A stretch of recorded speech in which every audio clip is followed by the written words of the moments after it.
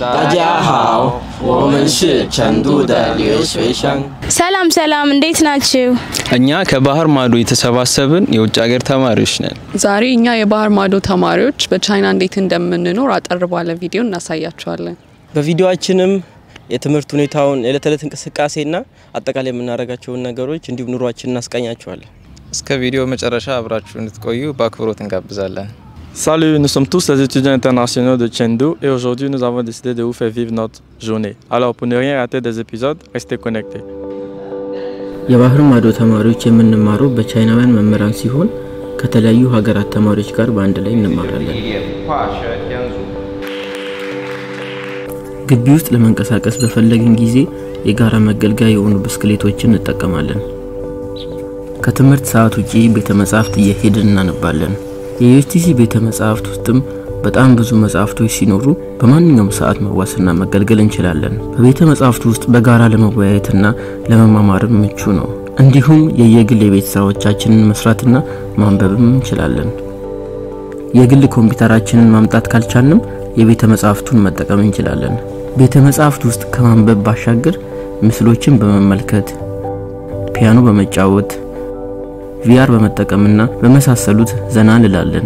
አንዳንድ ጊዜም ጥሩ የአየር ሁኔታ ሲኖር ከቤተ መጻሕፍት ውጪ ግቢ ውስጥ እናጠናለን። ከትምህርትና ከጥናት ሰዓት ውጪ dorm በምንሆንበት ጊዜ እርስ በርስ የተገናኘን በመጨዋወት ጥሩ ጊዜ እናሳልፋለን።?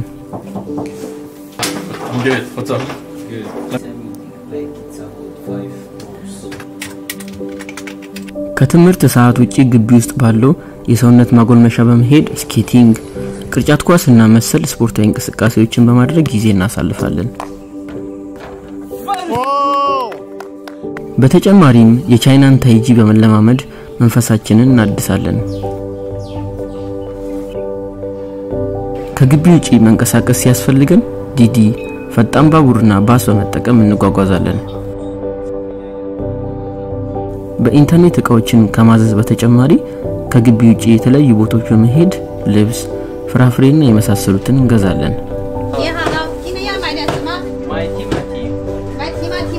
በተለይም አንድ ደንበኛችን የሆነች ነጋዴ ጋር ብዙ ጊዜ ከመሄዳችን የተነሳ የእኛን ቋንቋ እየለመደች ነው።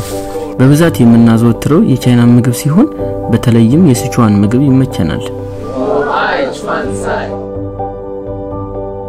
የቻይናን ባህልና ታሪክ ለማወቅ ካለን ጉጉት የተነሳ ከግቢ ውጭ ቤተ መዘክርና ሌሎች የተለያዩ ቦታዎች በመሄድ ታሪክን መጎብኘት ያስደስተናል። በተጨማሪም ከቻይና ባህል ጋር የተያያዙ እንቅስቃሴዎች ላይም እንሳተፋለን።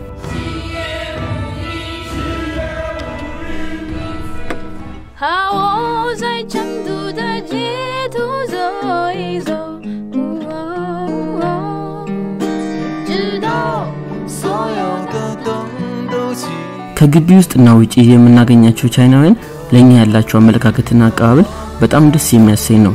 አብረን የምናሳልፋቸው ጊዜያትም የማይረሱ ናቸው።